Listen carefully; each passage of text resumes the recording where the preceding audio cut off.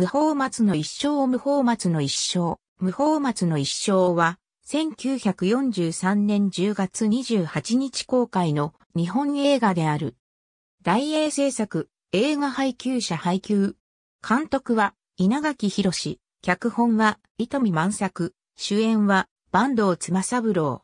モノクロ、スタンダード、99分。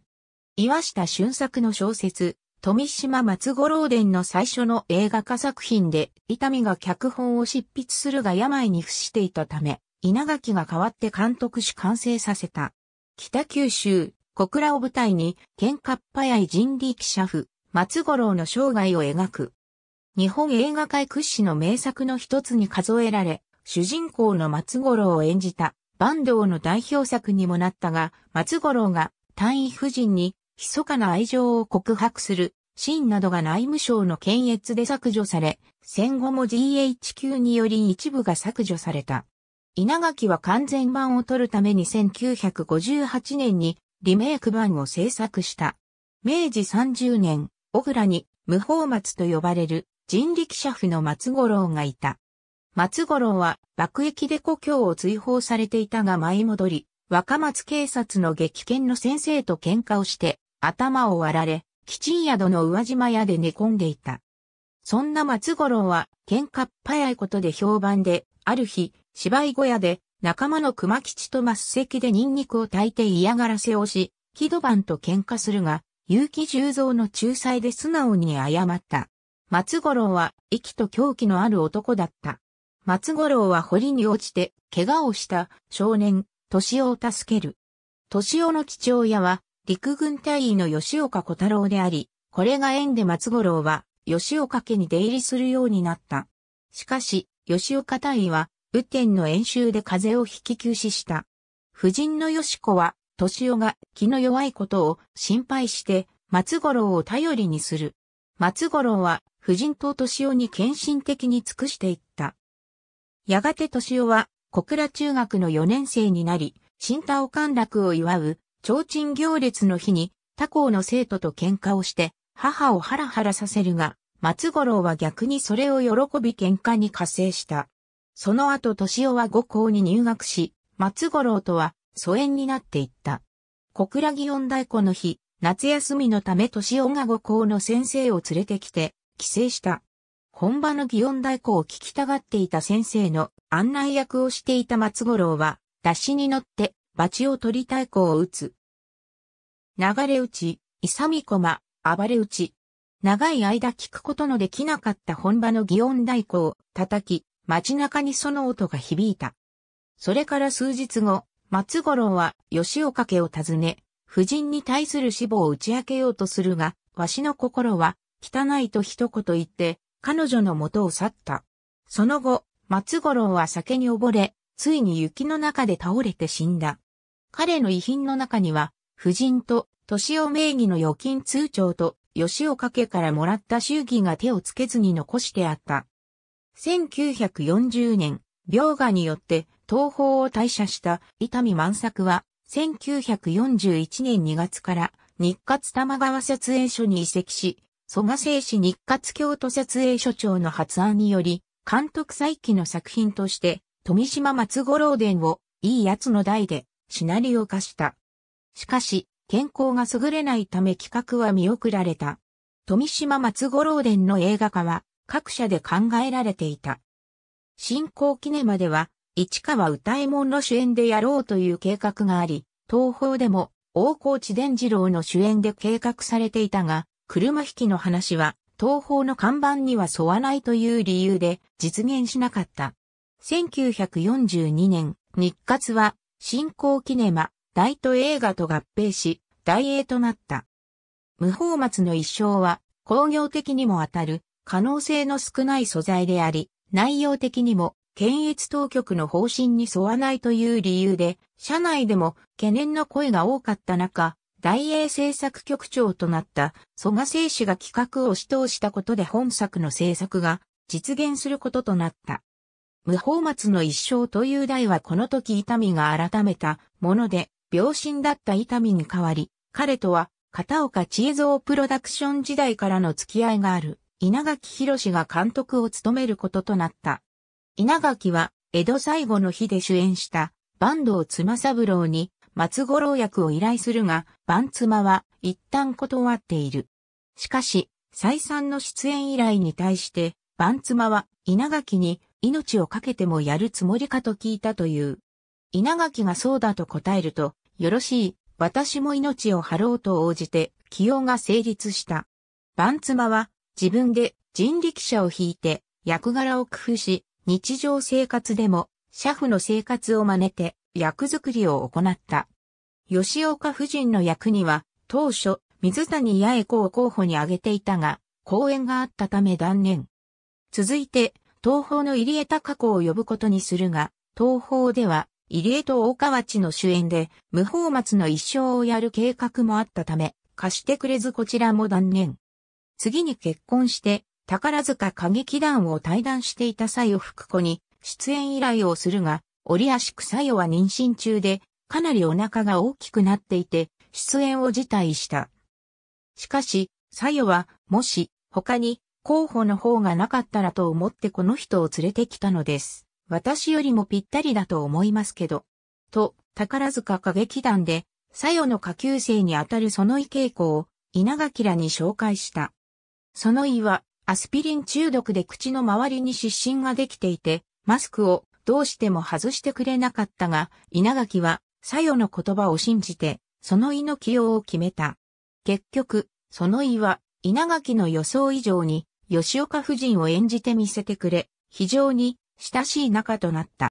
稲垣はその意について、まるでこの役をやるために生まれてきたような人だったと評している撮影は1943年2月に開始され、8月24日に終了した。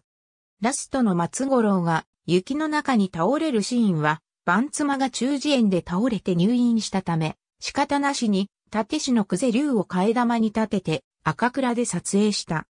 この場面が吹き替えと分かった者はいなかったが、バンツマ本人は悔しがり、いい仕事ができてよかったですね。だが、あの雪の場面が僕だったら、もっともっと良かったでしょうと稲垣に語ったという。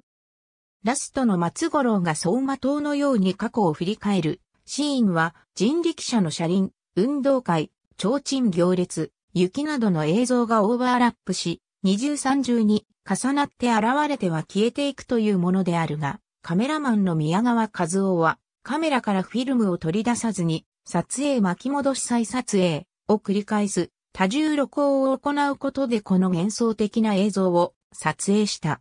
宮川は多重録音の撮影計画表を肝心帳と呼んで携帯していた。本作は二度の検閲の参加にあった作品として有名である。撮影前に作品はシナリオの事前検閲を受けたが、その時から問題があった。無法者が主人公であること、賭博場面、喧嘩場面、軍人の未亡人に対する一方的な連城などは内務省からこのましからずとの注意事項の付箋がつき、賭博場面は全面的に削除、他は演出上の要注ということで通見された。稲垣は、この作品は尋常ならば通見しないところであるが、伊丹満作と私の実績によって通り見したと言えると語っている。この事前検閲の内容について、伊丹も初行には賭博のシーンがあったが、それは脚本検閲で完膚なきまでに削除せられたので、私は改めてそのシーンを除去し、構成をやり直した。そのため、今度は初行になかった松五郎の少年時代の相話を入れることができ、結果にお手は悪くなっていないと思うと語っている。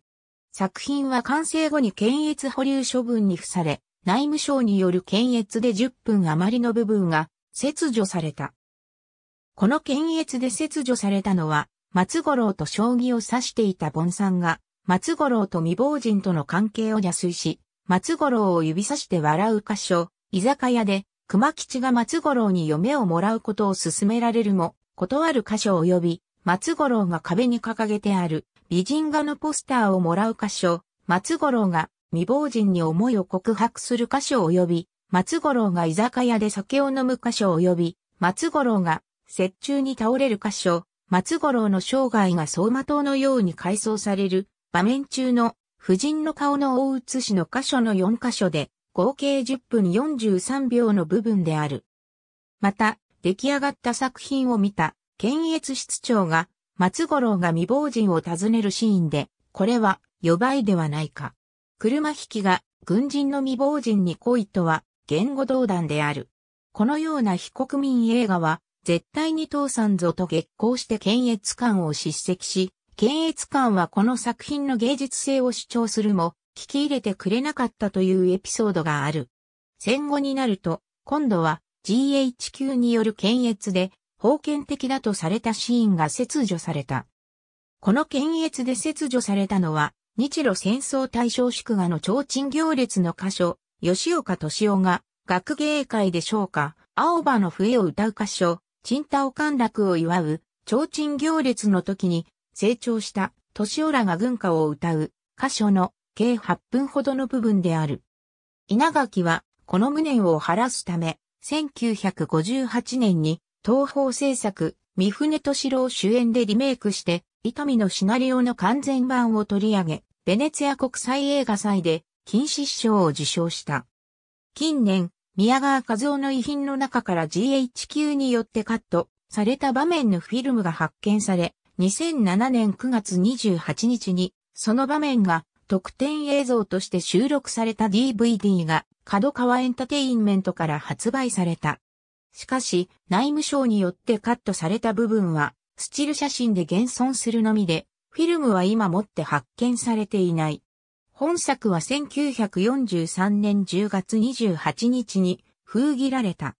作品は検閲により一部が削除されたものの、稲垣がこんなに褒められていいのかしらと思うぐらいの好評を博した。この年の興行収入ランキングでは、黒沢明監督の姿、三四郎を上回り、滝沢英介監督の稲野勘太郎に次ぐ第2位の成績となった。大ヒット作となっただけでなく、批評家からも高い評価を受け、映画評論が行った1943年度の優秀映画選考では第1位となった。また、映画ランキングやオールタイムベストにも高順位で選ばれている。劇中の祇園太鼓の暴れ打ちは、稲垣の依頼を受けた太鼓打ちの田中伝次が創作したもので、本当の祇園太鼓とは違うものである。この暴れ打ちは、太鼓の裏でリズムを取り表でメロディを打つ、裏打ちのリズムを速くして、表打ちのリズムを速めていくというもので、この映画の影響で諸国で色々な太鼓が生まれ、現代の和太鼓ブームにつながったという。現在諸国で見られる裏打ち太鼓は、すべてこの映画にヒントを得たものである。岩下の三男、八田昇は、祇園太鼓は本来、同じリズムで両面打ちで、勇み駒、流れ打ちといった派手な叩き方は、実は、父の創作なんですと語っている。ありがとうございます。